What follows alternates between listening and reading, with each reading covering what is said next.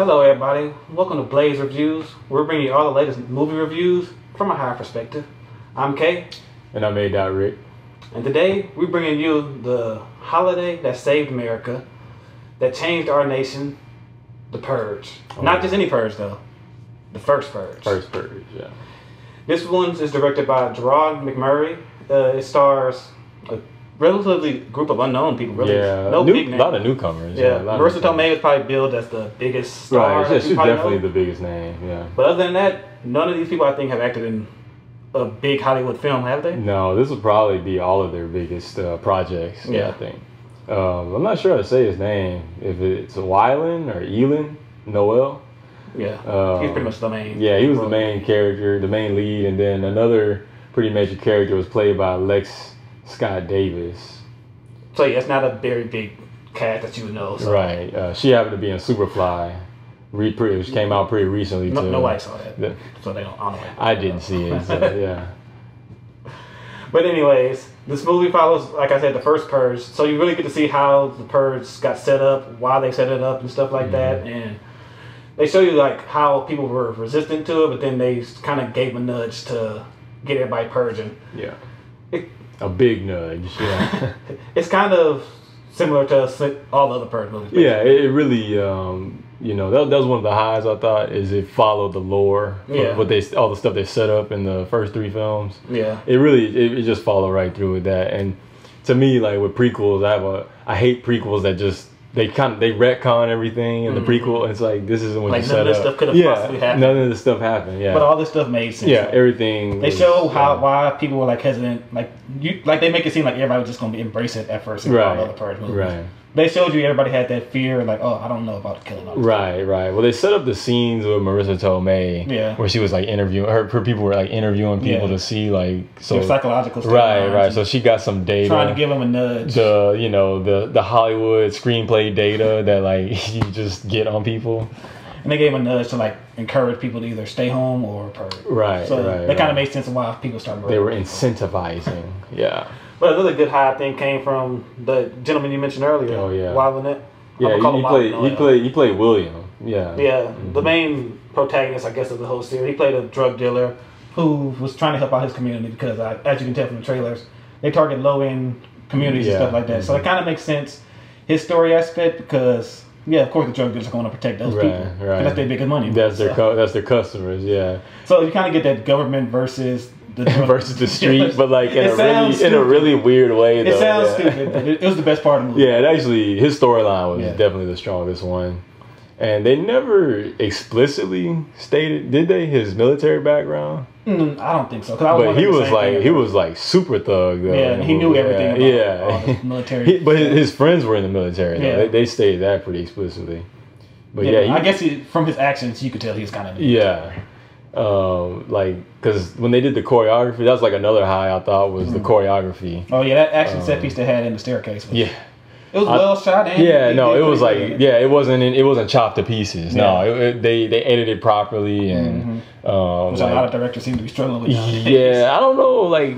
Paul Greengrass did it in the Matt Damon uh, Bourne trilogy, Yeah. and like everyone thought, oh, that's how you that's how you cut a film. Now everybody just. Yeah, they just pull out some some blades and just start chopping it up. But But yeah, uh, other than Noel, I don't think really nobody else in the cast stood out. The no, girl, uh, she was. yeah, she was pretty good. Uh, Lex Scott Davis was pretty good. Yeah. She, she she had a presence. I thought Mm-hmm. like when she was on screen, which I thought she could have been on screen a little bit more. Um, Yeah, they really didn't showcase her. yeah, they, they didn't. Uh, I thought she could have been on like kind of like a lot more. Um, but there were there were so many characters though. That's the like- biggest thing I think that comes down to the purge. Yeah. As we get into downers now. Yeah. the Um, purge always introduces 85 characters and expects well, no, not really. No, this one this one The, like the last two did. the last two had some characters, but they still, you know, Frank Grillo's character was like a thread, and um, they had some character, they had some groups, some pockets Yeah. that they focused on. But this one was just focusing on like literally just everybody, Everybody that came up had a backstory. and you like the deaths. Like a huge downer for me was when they would try to magnify the death scenes. Yeah, give you that simple, try to make Yeah, and it's like I literally don't even remember him at all. Like, okay, I remember seeing him. He looks familiar, but like, I literally don't care. I was Like- about to turn to you and actually like, is that his brother? And then you started to be like, who's that? who is that? Yeah, I was literally like, I don't know who that is. They Yeah. spent a good minute on his death. Like, Yeah. it's supposed to be big, a big dramatic death. Right. No, it really was. Right. Yeah, you were supposed to feel the weight of it, and I'm like, man. And that happened like three other times. Who where is? people got No, there was. It was probably yeah. It was probably three or four other times where he was like mourning his fallen brothers and else? He's sisters. like, oh my god. We're like, who was that? Mm, Yeah, he was in one scene one time. Yeah, And then after they kill some a character, they seem to introduce another one. yeah, right after that. Yeah, uh, yeah, th- that was for sure. So they could have toned that down a lot. Yeah, they could have cut a lot of these characters out, especially with the gang thing. Like they could have.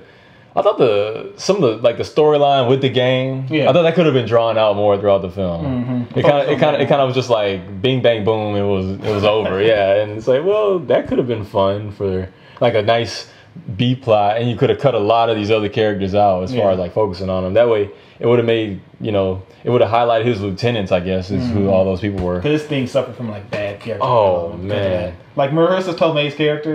like yeah, like I said, she's the biggest star in the movie that you probably heard of. But she shined the least. She she shone the least. She was yeah. in there for at most ten minutes. Yeah. The trailer's probably all her scenes Yeah. combined. Yeah. Probably. I'm like, wow, Yeah. they're not utilizing her at all. No, they cut to a random shot of her. I'm like, wow, she's she's in this movie. Yeah, because they were in the streets for so long, Yeah. and they cut back to like the office or whatever. Like, what is yeah. this? I'm like, oh, I forgot they said this up. already. Yeah, the, the HQ scenes. Yeah. So her character um, was bland. She it- was really just on screen to make a whole bunch of facial expressions and stuff. Uh, yeah, exactly. Just a lot of reaction Like, shots. It's not working. She pull up monitor three. pull up monitor seven. It's like, um, There should be purging. Why ain't purging? Why ain't purging? this isn't following the data. That's all she kept. That's all her lines was like, this isn't following the data. And it's like, well, uh, you interviewed like ten people, so it's a pretty small sample size. So yeah. It, it didn't look like she did her research. Oh, and um, another downer for me was their cartoon character. Oh, there's a lot of Oh. cartoon characters, but I, I know which one you're talking about. No, the the one who was named after a cartoon character. the super villain they had the super villain who was supposed to be like Mike Myers mixed with a crackhead. mixed with a crack. Yeah, Michael Myers was literally a crackhead. There's, Like, li- there's literally a Yeah. character in this car called Skeletor. yeah, Like everybody in the streets called him Skeletor. they just started calling him that. as Yeah. And somehow I don't know how he knew everybody's name when he was in prison for I don't know how long, but it was like that, his character did not make any And he, sense. he had like, he had superpowers, and sometimes when he snuck up behind that dude, that was not natural. he was definitely shoehorned into this movie. Yeah, like uh, you know they had a lot of characters, but he was just shoehorned. Like uh, I noticed Platinum Dunes was one of the produce Yeah, production company. Yeah, Michael Bay's co- company was behind this. Don't don't be scared. Uh, not- he's yeah, no, he's not the director or anything, but I feel like he was a Michael Bay like insistent Yeah. kind of thing. You can tell that they had the worst explosion I've ever seen. they just threw that in there because Michael Bay was a part of this movie. Oh man, that explode! I've never seen an explosion happen and then like it went away. Yeah, it went away in reverse. I was like, like what? I was like, wait, y'all even got the rewind noise going. That doesn't make sense. I was like, this is not how it happens. Uh, okay, did they have time travel? not how traveling works. powers? Was this a time release That's what I thought was going on. I thought some time uh, travel shit was going on. Like, Yeah. What the fuck is this going I'm from the future. You can't purge. no, no, that didn't happen. That didn't happen. Yeah, but, But, there's uh, a terrible explosion there. Yeah. Oh. That'll get some laughs out of you. I, I promise you that. So yeah, the the lows, yeah, definitely that character stuck out to me as like this is a total cartoon. As soon as I saw him, I Well, he, yeah, he opened the movie. He was the first shot, and so his makeup was not very good. Like in the first wanted to beat scene, Victor's ass. I bad. noticed his teeth were like fall. You know, they were just they didn't just color his teeth. I think that was false dentures completely. Yeah, because I look, I was like, those are false dentures. His scars are about to fall off. Like this does not look good. Yeah, this doesn't look good. It was a bad start starting point for it. Yeah, the uh, the opening scene, the opening scene, the opening image was uh, it let me down. Yeah. But you know, the transition from Act two to three, I thought was like a highlight of the Yeah, film. that when the action started picking up and stuff. And, um, After, like- what forty minutes, they finally got to the purge. part. Right, right. No, Thirty minutes. It took them like 30. minutes. Yeah, I checked. I checked. It took like exactly thirty minutes, and they were like, "Purge You, you was was on." like wondering, like, damn, are we watching the yeah, purge? like the purge was on. Yeah, like thirty minutes in.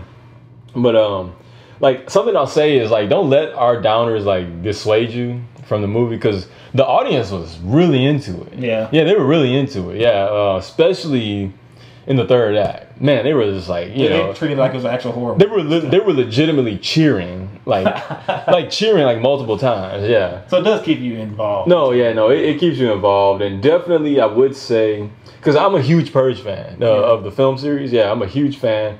The first film, I love like the initial taste of the first film. I didn't like it that much. though. Uh, no, I- like Because I didn't, I didn't didn't use a lot of the premise that much. It was basically just a breaking in. No, it was just a break in, but I was really in love with the world, with like the whole idea, the political Okay, aspects. Yeah. yeah. And then they really took it to you in the second one Mm-hmm. with the revelations of the political aspects and stuff. And you're like, oh, okay, so there is something to this whole thing. Yeah. Like, and then the third one, where they kind of built on the second one, I thought with the political stuff, it was a little.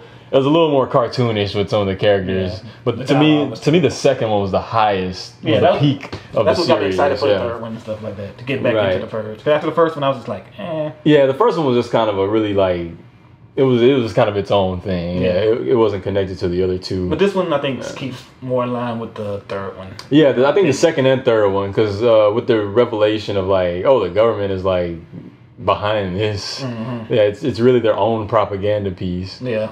But it, um, like as a an aside, I have a problem with you know political these not political movies, but these movies that have these kind of themes with the lower class versus with the classism Mm-hmm. Yeah. and stuff. It's like it actually doesn't make sense to kill the lower class because that's how the rich are getting richer. Exactly. If That's why the drug dealers. what you want to do is actually kill other rich people.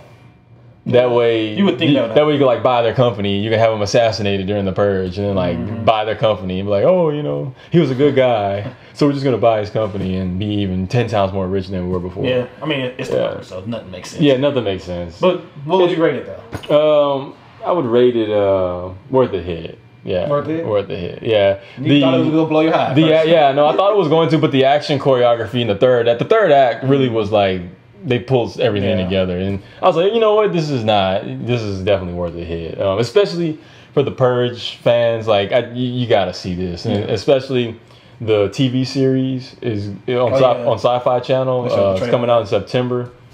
Um, this is the the the sci-fi series is going to follow directly after the film, after this first Purge film. So if you're interested in watching the TV series, you Right. just kind of gotta see the first. one. Right, right. This will be like the setup for it because they had a whole little thing at, towards in the basically in the um, at the very end of the of this movie. Yeah. yeah. Uh, it's kind of setting you and up. Yeah, Yeah, for for me, I mean, I'm not a huge fan of the hmm. Purge franchise, so I'm not as high as this movie.